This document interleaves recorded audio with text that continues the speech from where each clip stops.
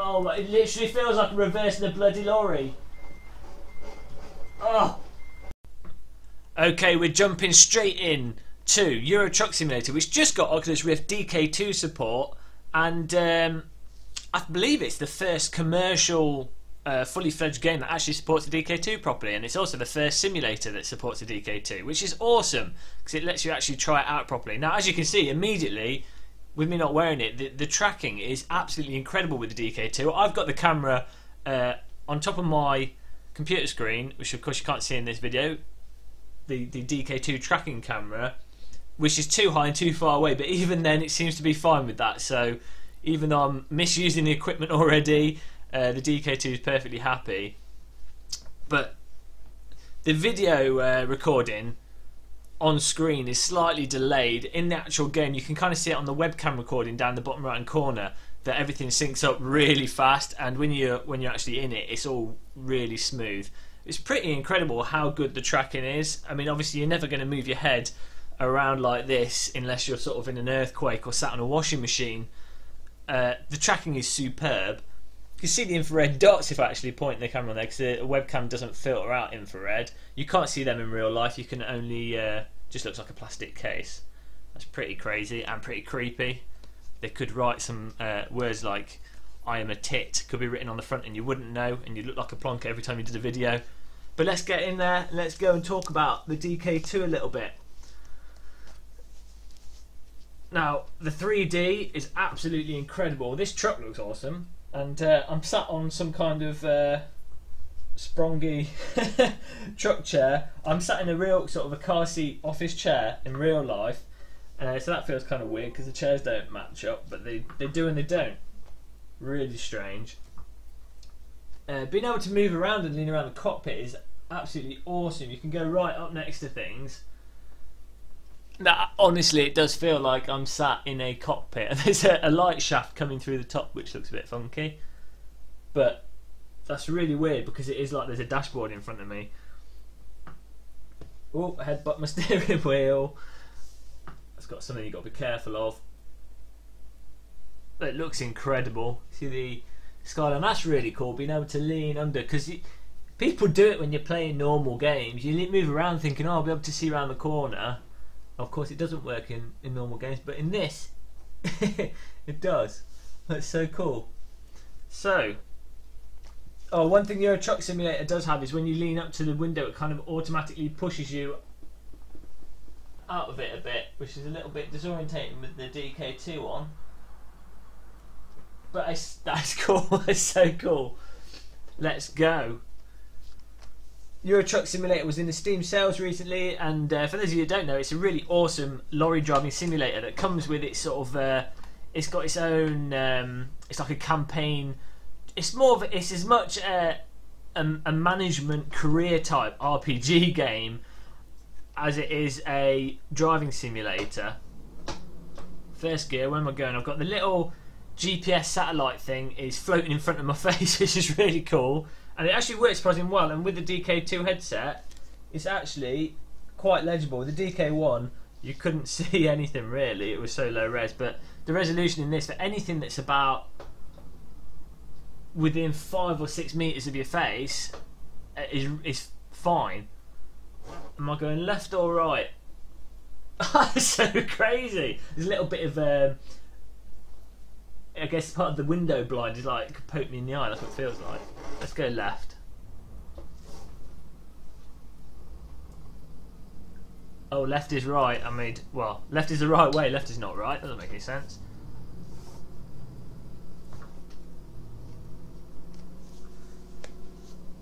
Pulling out the depot. it's so strange how uh, you can actually your movement in real life moves you in the game. It's it's just bizarre. I mean, the tracking on the DK1 was really good, where you could just look around, but the actual full degrees of movement,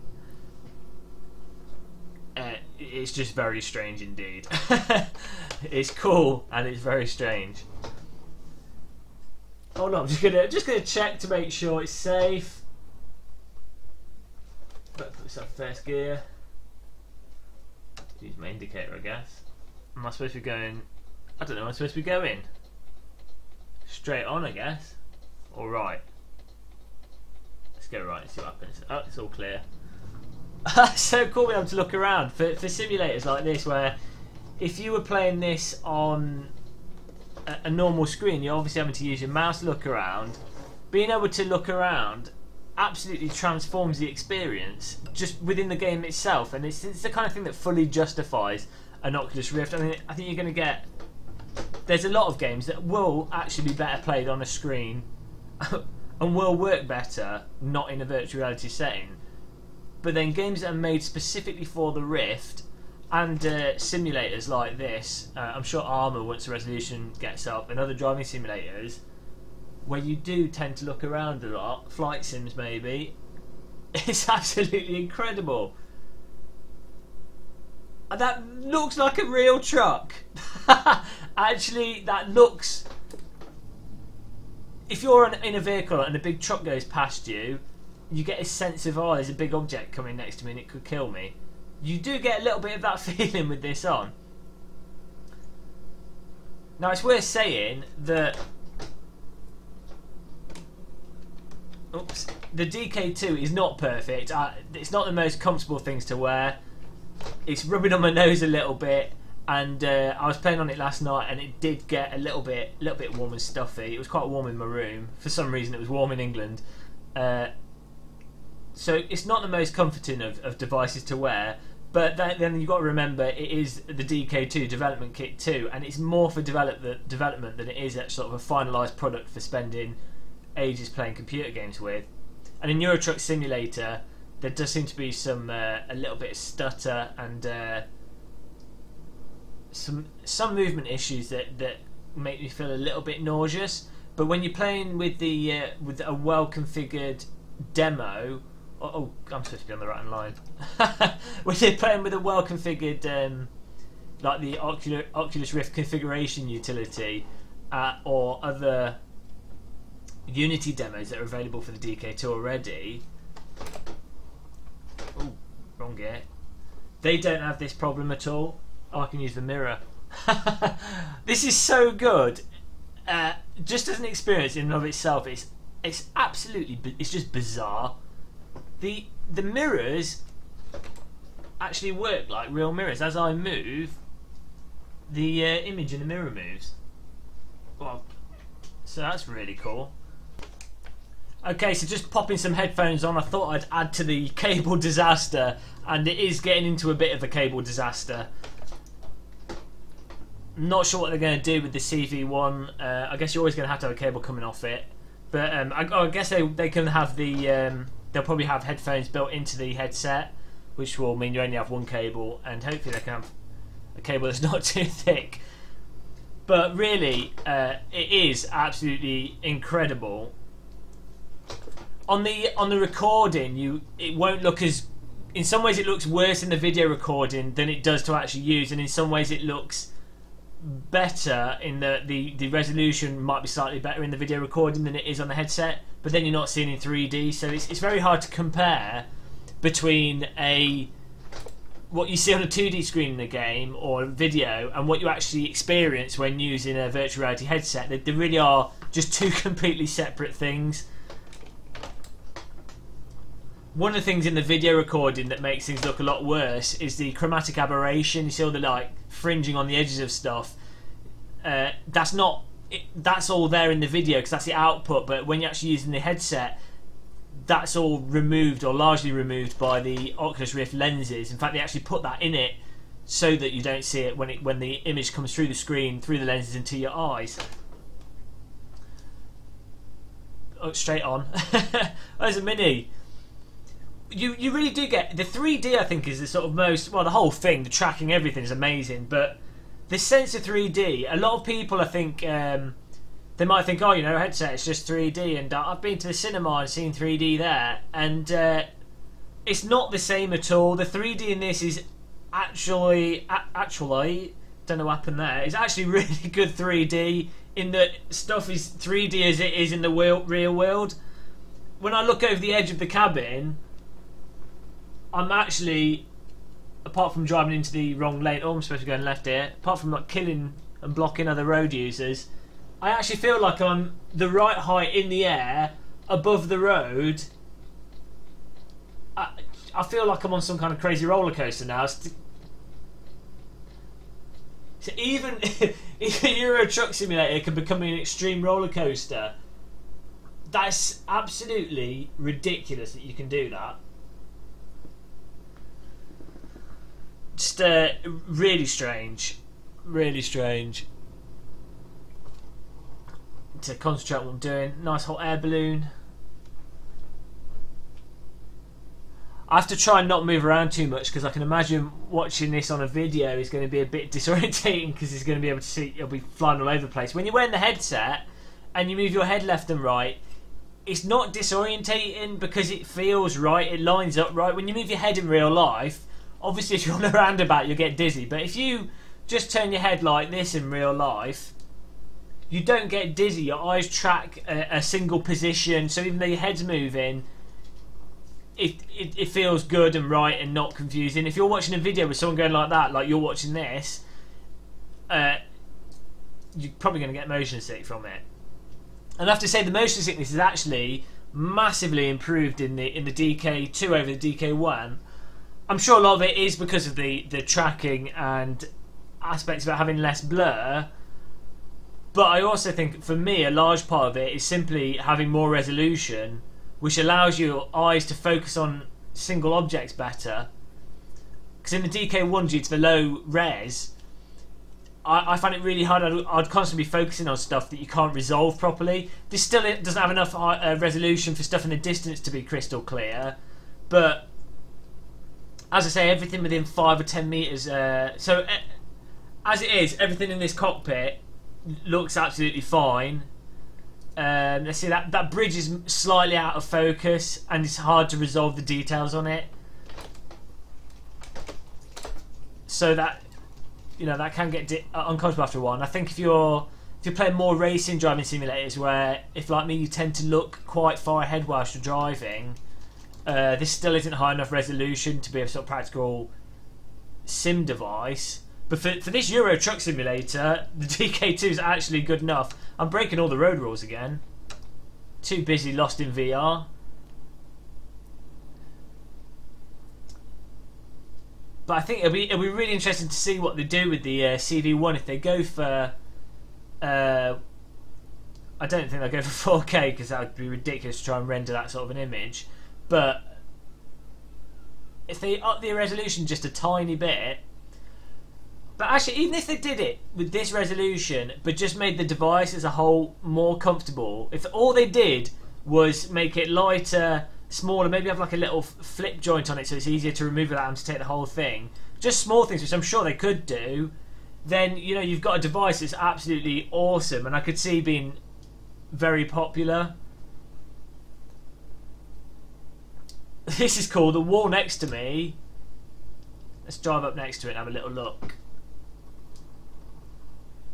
that's it's really strange. Like by looking at that, I get a sense that my cockpit actually exists over there, and if I drive too far to the left, that's going to grate along the wall. When I play this on a 2D screen, I don't get the sense of uh, envelopment or the, uh, the the object existing, the cockpit that I'm in existing. So I don't get a sort of gut feeling of if I hit into something or it's going to collide with something. Oh, we're going left here the lighting as well, the way the light, uh, the shadow. I've not got the graphics on the high settings on this. Need to fiddle around with them a bit. But the way the light is moving around the cockpit is really convincing. Obviously, that's just part of the game, but oh, drifting that. Driving on the limit. I don't know what we're delivering, but we've got to get it there on time. So we have to take, we have to drift a little bit, stir things up. 60 mile an hour speed limit. We're not going at that speed. Something you do notice with the uh, DK2 over the DK1 is that it's it's far more sensitive to having the correct position on your head. Uh, you really do need to make sure your eyes are, are centered. Otherwise, uh, stuff starts getting out of focus, and at the edges, things are a little bit out of focus. when you've got it in the sweet spot, it's uh, it's really good. And a lot of people were actually complaining about the uh, the FOV in the in the DK2 over DK1. Uh, I don't think it is, it is slightly smaller, but I don't think it's that bad. I think the key thing to do is to if you it's got dials on the side that you can. Oh, I've discovered. It's got dials on the side that you can move the screen out a bit, which a lot of people use if they're wearing glasses with it. And as as long as you don't see the flat part of the screen, then you're fine. As soon as you if you can see the edge of the screen, then it really breaks the immersion immediately. We've got food to deliver. We can't afford to slow down for speed cameras. So, I, I was really worried online. Oh dear, we're going to kill someone. Take this go around here. It's alright, no one caught us. Totally legal. I'm indicating now, it's all fine. Yeah, I was reading on the on the website a lot of, a lot of people going crazy about the FOV being smaller. I think probably because they'd just seen the Tuscany demo and uh, I guess if you directly compared them, but as long as you set it up just right, it, I don't think it is a problem. To be honest, it's not the be all and end all really. Am I meant to be going in there? I think I've just driven past where I was supposed to go. Let's go around the roundabout. Totally lost. Oh no! Oh, look at that lorry with cars on it. Looks incredible. Okay, we're going into the uh, depot there. I think that's right. It's so cool being able to look around. It, it really is just amazing. Don't know what else you could say, really. I'm going to reverse park this really badly. Okay, we've arrived. Game gives you a choice to uh, cop out and... Uh, not do reverse parking. oh no, this is going to be a disaster. Oh no! Come on! Oh, my, it literally feels like reversing a bloody lorry. Oh! Oh no! That's not how you reverse a lorry. Oh no. Need to go back to lorry school. Do you know what? I wonder if this is actually would be a valid way for a real lorry driver or real anyone to learn how to reverse a, a caravan or anything like that.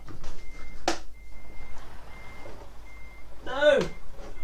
This way. There we go. Oh god, cannot see anything. Maybe I should just use the mirrors more. No. Oh, that's not even my hole.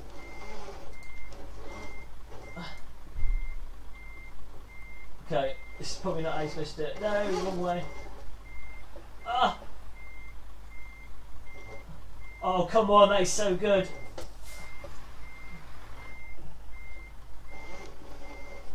Oh! Oh, look at the angle on that. Oh!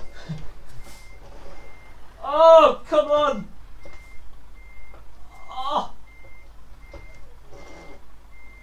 Oh my god, that is so good. That will do. It's completely off.